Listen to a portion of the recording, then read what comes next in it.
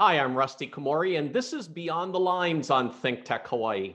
I was the head coach of the Punahou boys varsity tennis team for 22 years, and we were fortunate to win 22 consecutive state championships. This show is based on my books, Beyond the Lines and Beyond the Game, which is about leadership, character, and creating a superior culture of excellence.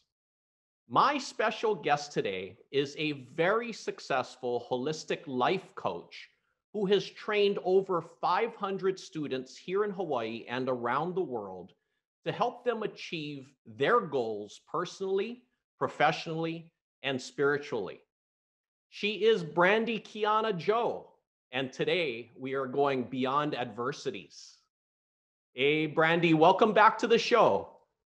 Ah, hi. Thank you so much, Rusty, for having me. I'm very happy to be back. Thank you. Now, Brandi, you have been making such a huge positive impact with so many people. And I know that a lot of our viewers will want me to ask you what exactly is a holistic life coach?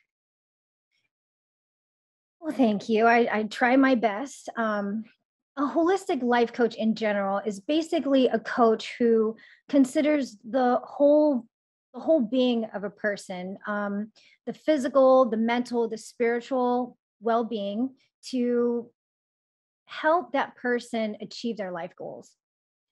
I go a step further but that's the general uh, description of a holistic life coach. Now brandi when people meet you and they know that you're a holistic life coach what's a common reaction you tend to get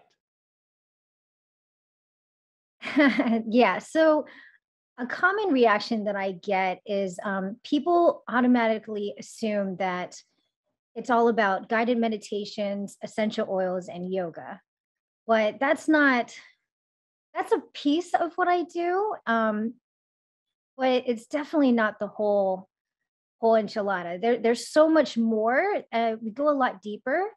Um, there's a lot of very deep personal matters that I help my students with, and it's a, it's a very wide spectrum.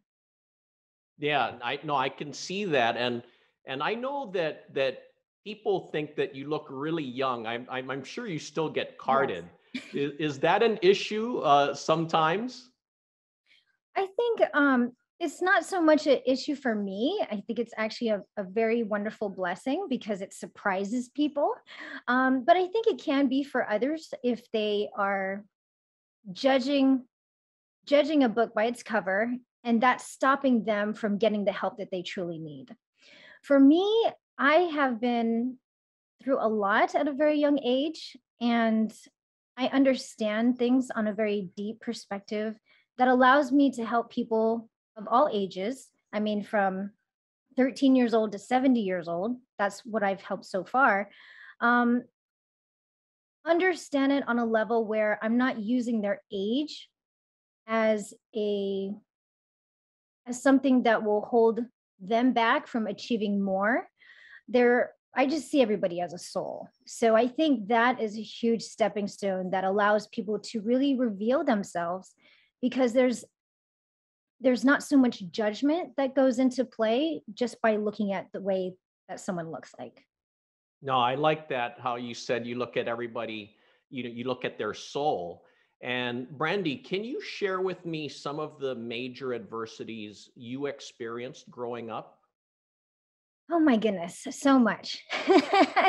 so much. Um uh, gosh, such a big range. Um well, suicide is a big one. Um, that's something that I had faced f- several times, starting from the age five years old. The next time was 15 years old, and then several times after that. Um, I had dealt with emotional, physical, and sexual abuse. And unfortunately, I was sexually assaulted many times. I had also been addicted to drugs and alcohol. And because I didn't know how to manage money, I became homeless. And I was homeless for years. It wasn't something where I was just hopping on people's couches. Fortunately, I didn't sleep. Um, I didn't sleep on the streets in cardboard boxes. It, it, for me, I was very lucky to not have gone that far. but I've definitely slept in a lot of dangerous places and I've hung out with a lot of different people that weren't definitely isn't the the lane that I'm in right now for sure. Um, but it's because of all of those different experiences that I've been able to understand how strong I am. I've been able to understand um, how to be more compassionate, understanding, and help other people overcome or prevent themselves from going through the things that I've been through. And people don't have to go through anything that I've been through for me to help them. It just, I mean, for me to be a holistic life coach, I have real life experience. And it's not about, um, it's not only about the experience. I mean, I do a lot of studying, I do a lot of work. Um, I've spent a lot of money on perfecting my coaching practice. So there's a little bit of both. There's a lot of experience, and then there's a lot of uh, textbook education as well. But um, that's it's my adversities that that have really I think brings some light to the table when it comes to helping people grow. I'm, I'm No, grateful that's for. for sh- that's totally for sure because I mean your real I mean your real life experiences from such a young age um, to really experience such a wide spectrum of uh, adversities uh, really truly I mean that's that's why you're a holistic life coach and and Brandi you've done countless uh, coaching workshops and you also did did a workshop to empower teachers to empower students. What's one of the key things you focused on in that workshop? Yeah, that. Okay, so the thing about educators is that I think it is very well known that they're often um, not paid as much for what they're doing. I mean, essentially, they're not only educating our students, but they're also babysitting them. And I think a lot of people are starting to understand that through the, the COVID lockdowns. Um, having uh, having to uh, homeschool their students or have them just sit in front of a computer for however, however many hours to get that education. Um, teachers are often underpaid. They often don't have the resources that they need or that they want to do the work that they are called to do. And a lot of them come in to the workspace so inspired, so excited to help students. And then throughout their journey, oftentimes they're told no so many times that they start to feel bogged down and they start to feel like they just can't do enough. And so this workshop was about empowering them to not give up. It's about looking outside of the box, look outside of what's beyond your control, and start looking at what are the things that you can do. Let's stop looking at the no and let's start looking at what can we do? What resource do we have to play with? Let's use our imagination, let's work with the community, and let's just let's just have fun with all the ideas that we come up with together. And um, yeah, and, and that's pretty much what it was about. No, and Brandi, I, I like hearing that. And you also did many events, girlfriends events that that you um, that I I felt very fortunate to be been a speaker of in one of them. But you really helped inspire so many people during your girlfriends events. Um, how did you enjoy that for yourself?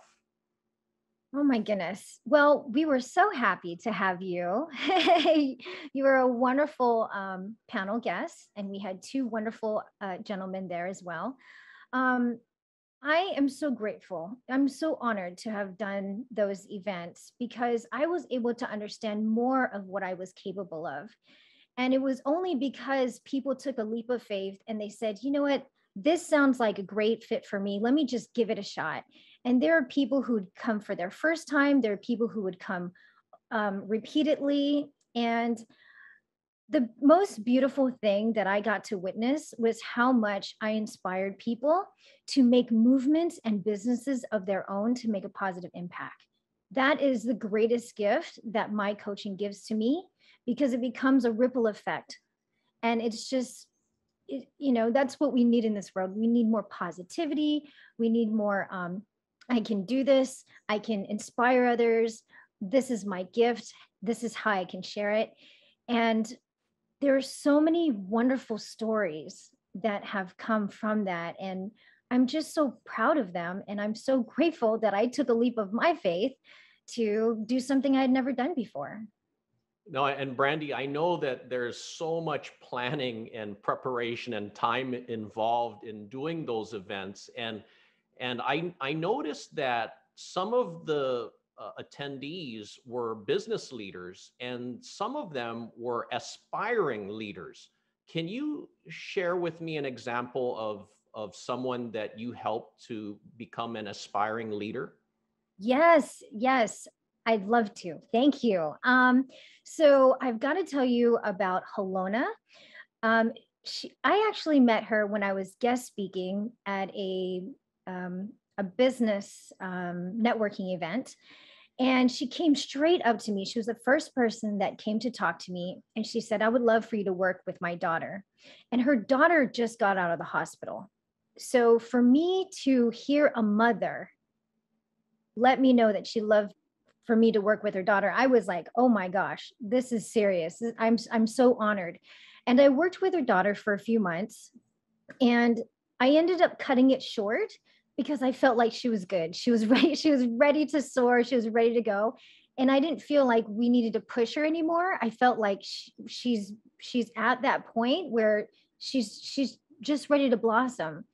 And her mom or Halona, she kept saying, oh, I want you to work with her. And I said, you know what? I think why don't we just use the rest of this time and how about we work together? And she said, yeah, that's what I want to do. And so we, me and her end up working together. And she wasn't 100% an entrepreneur quite yet, but she was dabbling in it. And so I worked with her and then I started Girlfriends and I said, Hey, you know, you've got something special. Would love for you to partner with me. Come on board. And so she, um, I helped her and she blossomed incredibly. I mean, talking about aspiring leader, she has gone far. And I'm so amazed and so inspired and so proud of her. I've got to tell you, so she was a part of Girlfriends. She spoke, she inspired people, she empowered women. And then she started her own um, girls event. It was for helping at risk girls on the west side of, of, of Oahu. And I was able to go and speak there. And then she started a business where she started to help other businesses start their own.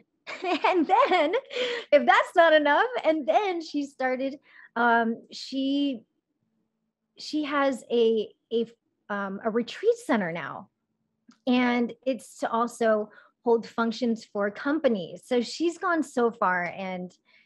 As talking about aspiring leader, I mean that's from when we met a couple years, a few years ago, and now she's she's doing amazing work and it's called uh, Holomua Farms. If anybody wants to check that out, I highly recommend it. It's a beautiful place. Well, I love hearing that story, Brandi, and and uh, I want to thank you for help um, being a big supporter of my books and promoting my books. You were there at my first book signing at, at Barnes and Noble. I mean, that was so exciting for me. And uh, I want to ask you, what's something that stood out to you in the books? Oh, I'm so glad you remember I was there with you. You had like forever a long line of people. I remember that your book signing it it had to go beyond the time because um, because you made such a, a great impact on people. And I have both of your books. I've shared your books. Here it is. And um, there are so many things that I love about your book.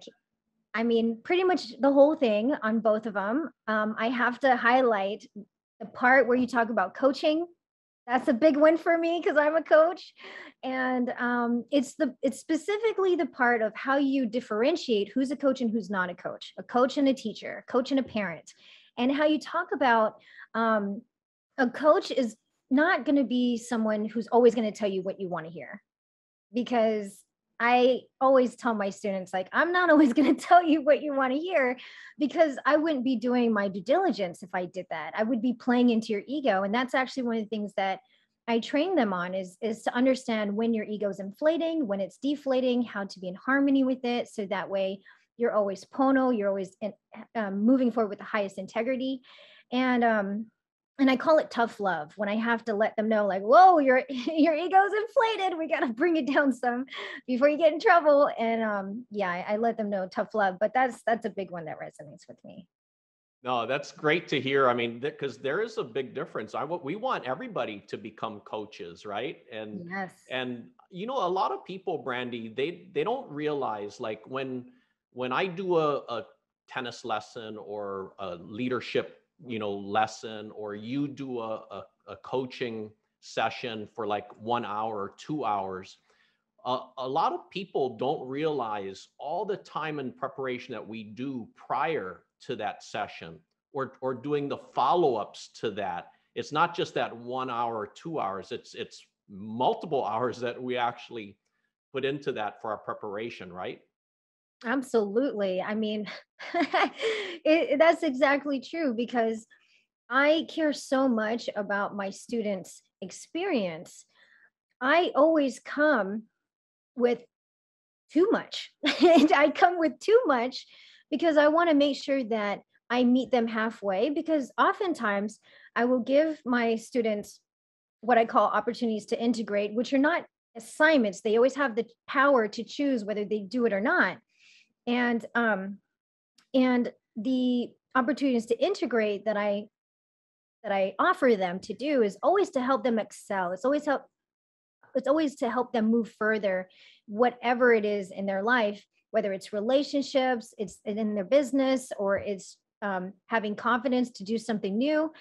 And I never know what what they're they're going to accomplish in that one week or in that few days since we last talked. I mean, some people surprise surprise me like incredibly where i'm like oh my gosh who is this person coming back to the session like i have to be caught up and so i i i take like anywhere from three to four hours to prepare ahead of time Sometimes it takes me five, sometimes it takes me longer. It depends on the person. It's not a cookie cutter situation, but it really does depend on what is going to be the best for that person. How can I help that person go a little bit out of their comfort zone so they can achieve something more than what they would on their own?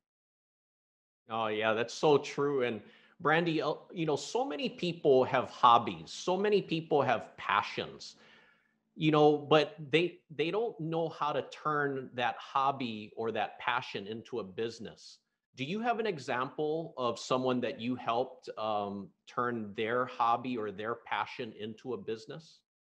Yes.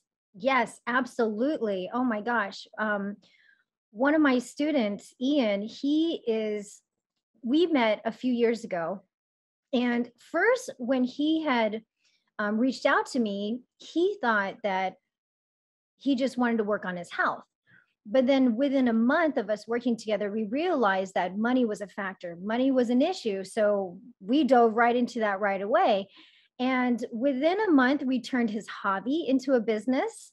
And within three to four months, um, we got him to the point where he was making a livable, a, a decent livable wage for him. And then within two years, he was making enough to support his entire family. And that includes two moms, two dogs, and himself.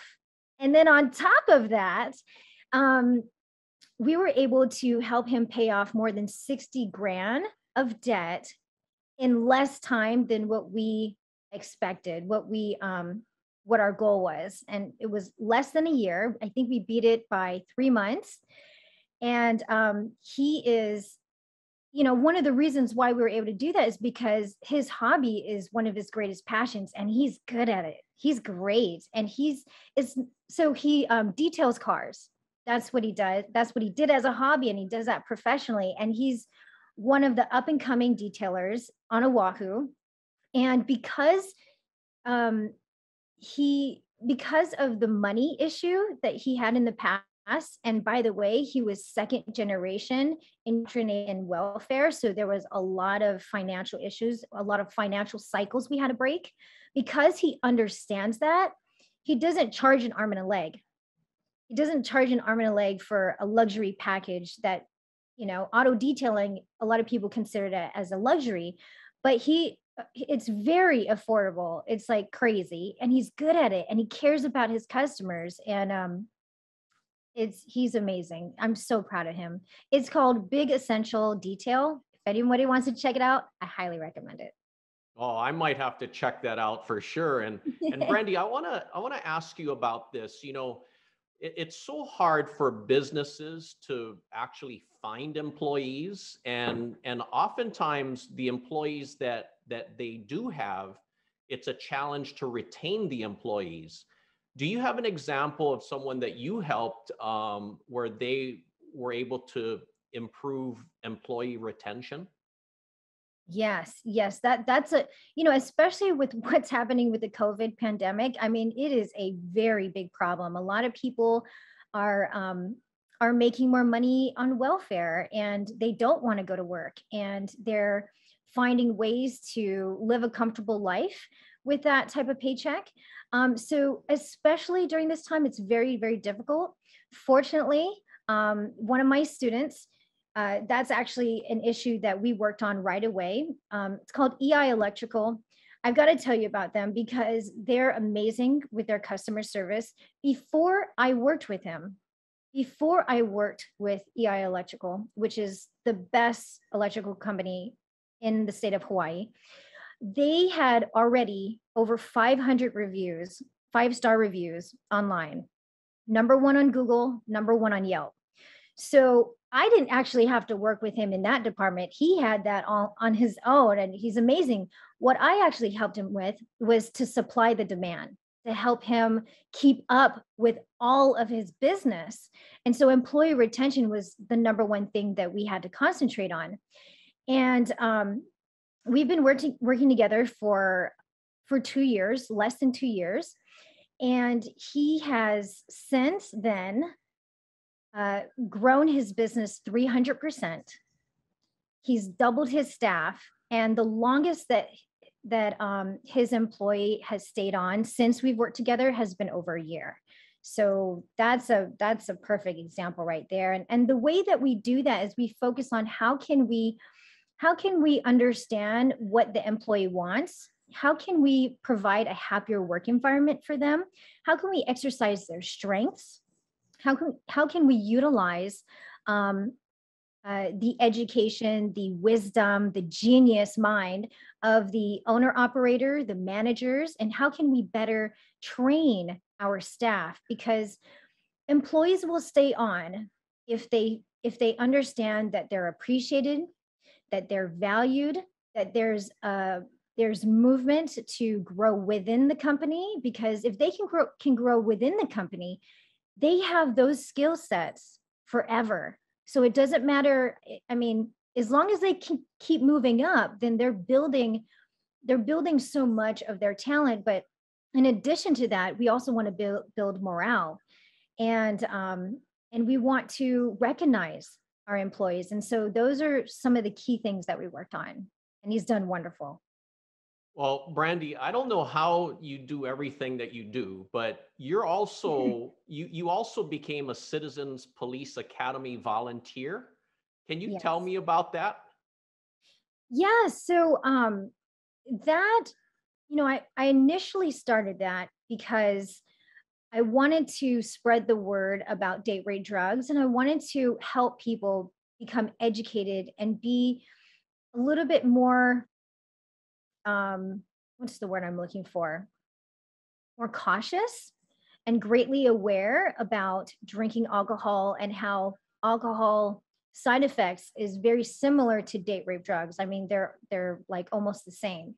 And when I went to the Citizens Police Academy, I was very interested in working with them. I wanted to support them. I and, and I wanted to see how can I um, how can I help spread the word with the date rape drug awareness. But it was I I I I'm always doing something. I'm I don't have like too many open spots on my schedule. So I'm always learning.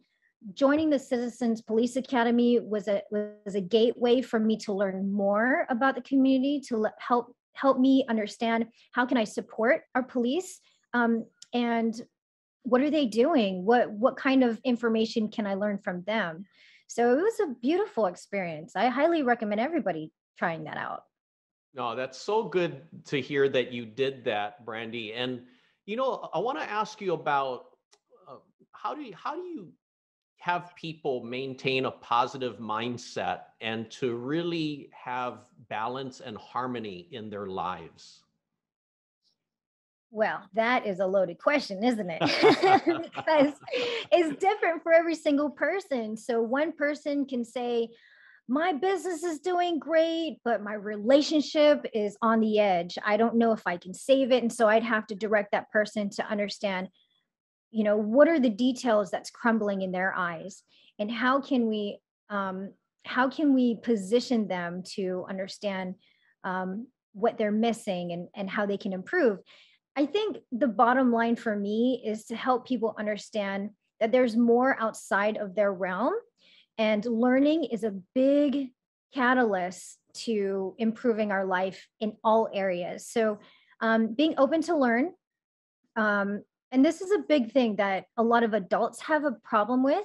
Um, and there's different phases of people's life where they have a real difficult time in learning because they think they know it all, because they've already experienced many times. And so it's always going to be the same experience. That's not always the case. And that's why oftentimes people come to me is because I just crack them open and I'm like, hey, I'm your blind spot. I'm going to tell you what you're missing here. And and we're not going to use that against you. We're going to say, okay, now we're going to use this as a as a map, as a compass to say, okay, now we're going to move in this direction to help you grow. So learning is a big one.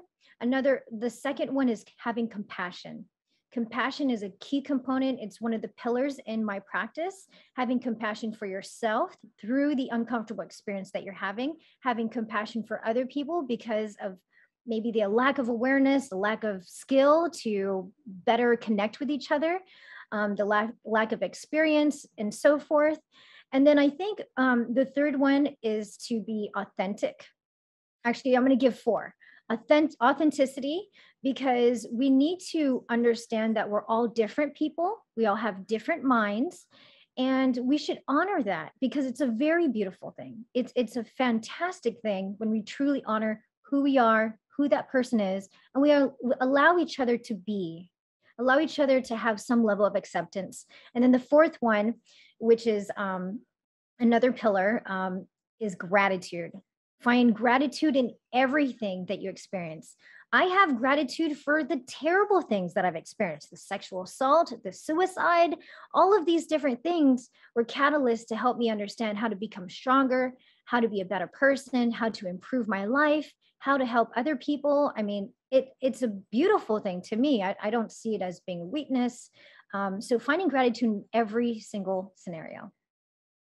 Well, I like that, Brandi, because you know you you you're so positive. You have so much positive energy, and and I know that you believe that life doesn't happen to you, life happens for you. And that's why you're able to take those really bad situations, those tough, big adversities, and turn it into a big positive. And Brandi, I, I really uh, want to thank you for taking time to be on the show today and sharing those really great insights.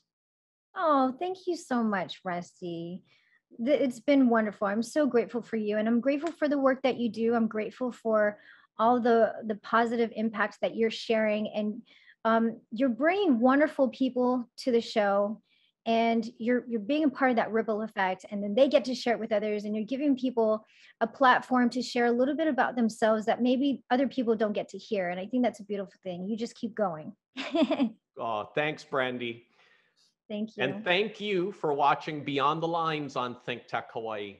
For more information, please visit rustykomori.com and my books are available on Amazon and Barnes and Noble. I hope that Brandi and I will inspire you to create your own superior culture of excellence and to find your greatness and help others find theirs. Aloha.